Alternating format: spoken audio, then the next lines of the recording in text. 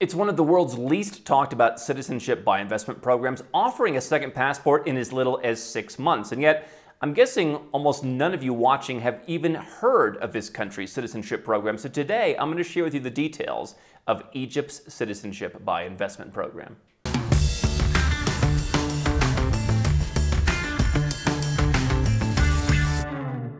Hi, I'm Andrew Henderson. I'm the founder of Nomad Capitalist, where we help seven and eight figure entrepreneurs and investors legally go where you are treated best. You can learn more at nomadcapitalist.com. So, a second passport, great idea, especially in these times. A lot more people are coming to us looking for that second citizenship to protect themselves, whether they're looking to leave their country or whether they're just looking to have a plan B to keep in their back pocket, to keep in that safe at home. And while we often talk about Caribbean citizenship by investment or Malta or even Vanuatu or other programs occasionally, we've almost never talked about the programs in the Middle East. Jordan has a program, very expensive, actually had some takers, mostly from people in other parts of the Middle East and South Asia. But one country we've almost never discussed is Egypt. Now, uh, on its surface, most people watching this probably wouldn't want an Egyptian passport. As a travel document, it gets you into about 50 countries, either with visa free or visa on arrival access. Most of those countries are in Africa.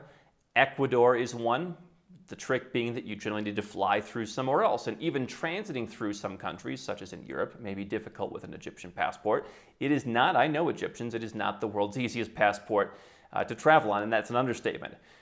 Probably the one big benefit that I see as a fan of Malaysia is that in normal times, Egyptians have a rather unique 90 day uh, visa free access to Malaysia, generally reserved for Americans and Canadians and EU citizens. They are one of the, the worst passports that has that level of access to Malaysia. So, certainly, there are some countries in the world where Egyptians are welcome, but it's not a tax haven. Uh, it's not a great passport, but yet they have rolled out and they have refined their citizenship by investment program. This is probably not for your average person who is moving from Wisconsin, but there are some people, you know, who might be interested in this. I have said that Cairo is a very interesting real estate market. Uh, I think that uh, with such low prices there, there is some potential for people who want a bit more adventurous investment. Doesn't mean you've got to be a citizen. Uh, but let's go through the citizenship options so that you know what this program is all about and you can compare it to the others. Now, first things first, this program is a little bit different. It's a little bit more informal. You go to the Caribbean, you've got to hire a local agent. You've got to go through a whole series of, of processes and lots of paperwork. A little bit less bureaucracy in this one. You're going to pay $10,000 upfront fee to the government. That's going to cover most of what you need. And so you're going to need to hire a lawyer. You pay that fee upfront, and then you begin the process. It takes anywhere from six to nine months, which, which isn't exactly super fast if you look at you know, what the Caribbean countries are doing these days as they become more efficient programs. What is interesting about this is you can pay from a business, which other programs sometimes frown upon. You can even have someone else in your family uh, pay the bill for you, make the investment for you. So you have more flexibility. There are basically four different options. The first is a straight out donation to the Egyptian government. Not that attractive for most people, seeing that you, know, you don't necessarily need Egyptian citizenship to do other stuff in the country. It's a $250,000 donation. Now, if you compare that to Cambodia's informal, uh, you know, somewhat scantily used program, similar level of donation, similar level of investment. Uh, you know, Cambodia, you're going to get more going from a non-citizen to a citizen. So, you know, similar passport. Egypt not really competitive at the 250 level, especially not competitive, seeing that you can get, you know, versus Egypt's very tier C passport, you can get a tier B plus passport in the Caribbean for, you know, 60% less. So not that attractive.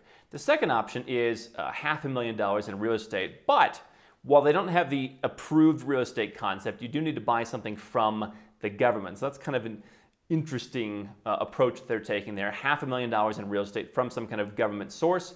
You generally need to hold that for, I think it's five years, uh, but half a million dollars in real estate. If you want to start a company, certainly, you know, Cairo, big place, educated people. There are some problems with uh, the internet in some neighborhoods at times, from, from what I'm told. Um, have been there, haven't had any problems.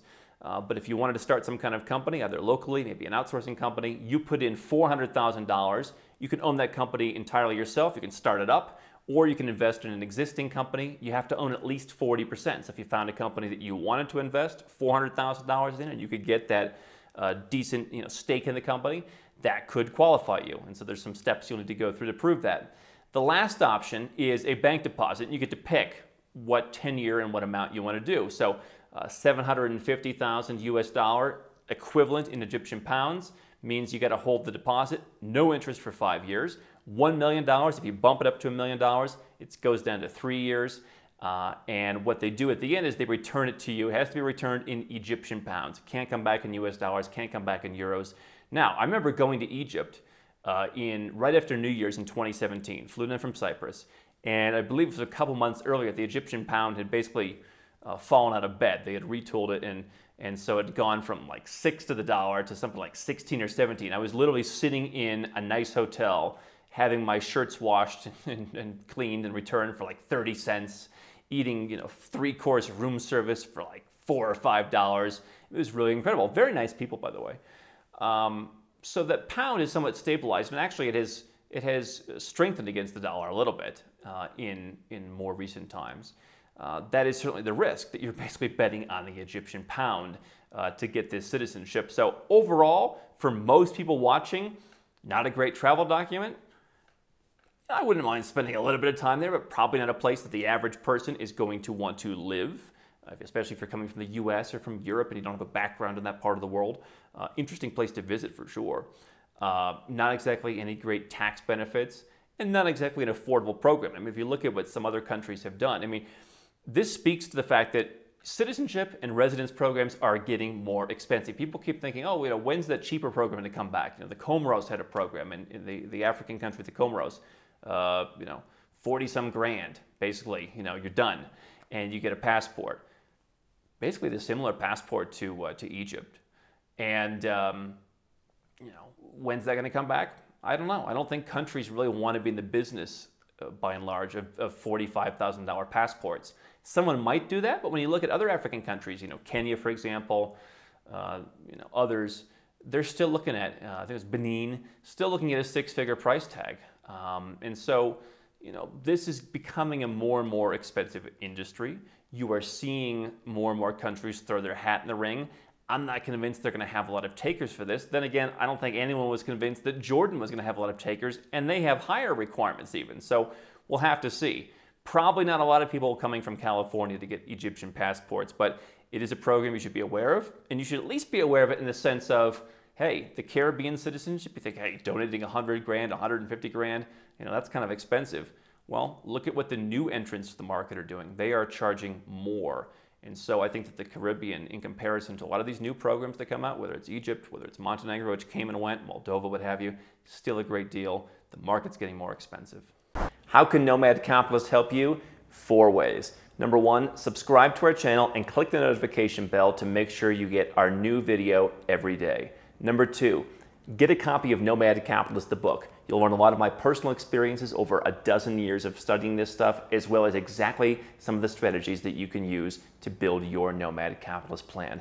Number three, if you're not sure where to start, but you want to come and learn from my team and I, you want to come and mingle with like minded people, Learn more about our live conference, Nomad Capitalist Live. It's coming up soon. And number four, if you want some help right now because you've got a burning issue, you need something solved, you want to lower your taxes, get a second passport, or build the Nomad Capitalist lifestyle of your dreams, go to nomadcapitalist.com and click on Become a Client.